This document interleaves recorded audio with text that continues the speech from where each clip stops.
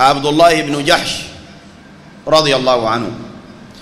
ابن رئاب ابن يعمر يكنى أبا محمد أمه أميمة بنت عبد المطلب ابن هاشم وهي عمة رسول الله صلى الله عليه وسلم. أسلم قبل دخول رسول الله صلى الله عليه وسلم دار الأرقم وهاجر إلى أرض الحبشة الهجرة الثانية. وبعثه رسول الله صلى الله عليه وسلم على سرية وكان قائدا لهذه السرية. ذكر له ابن الجوزي رحمه الله موقفا عجيبا قال عن إسحاق ابن سعد ابن أبي وقاص قال حدثني أبي له سعد ابن أبي وقاص رضي الله عنه أن عبد الله بن جحش قال له يوم أحد ألا ندعو الله؟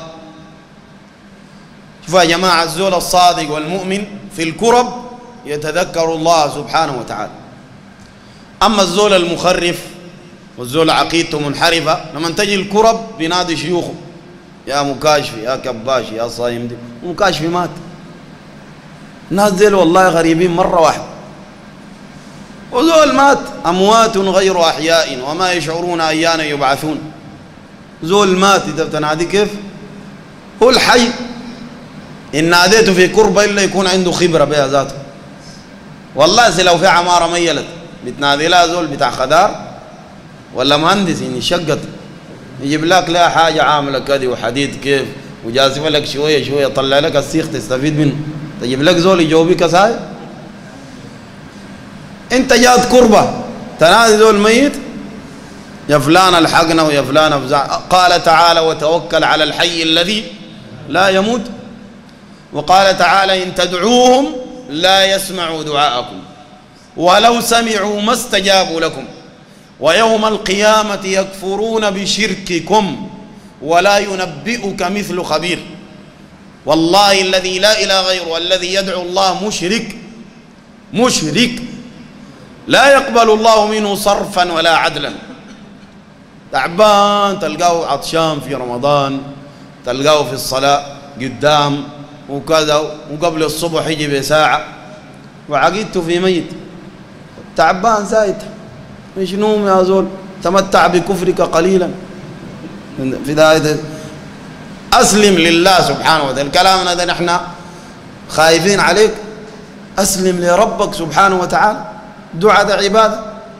صلاة. انت لازم تاخذ شيخ تصلي له. يقول لك لا لا. دي عبادة يا أخي. بالصوم له تقول صمت لشيخي فلان تقربا له يقول لك لا طيب الدعاء ده ما عبادة؟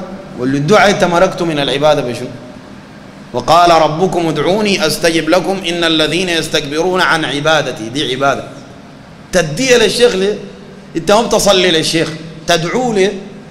الشيء خلاك ما تصلي له مفروض يخليك ما تدعو بالراحة كده. زعلان مننا وهابية وكذا واقتل الوهابي قبل الدابي. خلي الدابي وخلي الوهابي حل مشكلتك أول جيتا معقول يا أخي؟ قال قال ألا ندعو الله؟ قال لسعد رضي الله عنه ألا ندعو الله؟ قال فخلوا في ناحية. فدعا عبد الله بن جحش. شوف دعا قال شنو؟ ويجي زول يقول لك الصحابة ديل ناس دنيا وكذا وكذا. يا أخي معقوله يا أخي. شوف الزول ده صادق كيف؟ شوفوا دعا ذاته قال شنو؟ فدعا عبد الله بن جحش. صحابة ديل ما ناس دنيا ديل ناس أخرى عديل كذا قال فدعا عبد الله بن جحش فقال يا رب إذا لقيت العدو غدا فلقني رجلا. قال لي الله بس لقيني رجلا. شوف الرجل ده أوصافه شنو.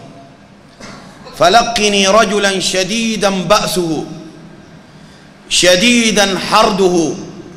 أقاتله فيك ويقاتلني. أقاتله فيك ويقاتلني. ثم يأخذني. قال فيجدع أنفي وأذني. اقطع لي أضاني ونخرتي. دي الدعوة بتاعته. قال أنا دار لي رجلا شديدا بأسه شديدا حرده أقاتله فيك ويقاتلني فيجدعني أو فيجدع أنفي وأذني.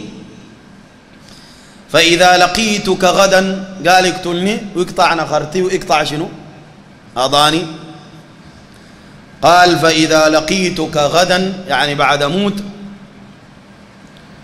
قلت أي تقول لي أنت يا رب ده ما دعاؤك قلت يا عبد الله من, من جدع أنفك وأذنك هو أعلم.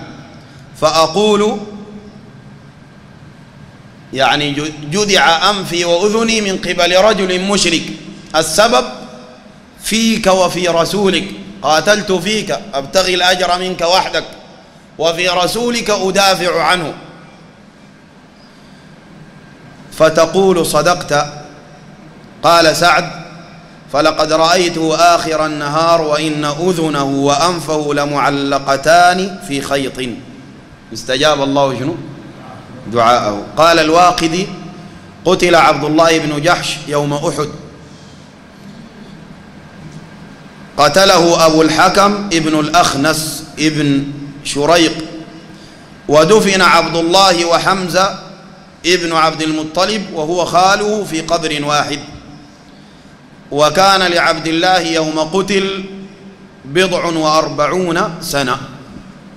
بضع وأربعون سنة. سعيد بن المسيب قال استجاب الله لدعاء لدعاء نقل ذلك أيضا عن رجل استجاب الله لدعاء عبد الله بن جحش في الدنيا. قال فأنا أرجو الله أن يعطي أن يعطيه ما سأل في الآخرة. يعني أن يكرمه في الآخرة بما سأل. ده عبد الله بن جحش رضي الله عنه.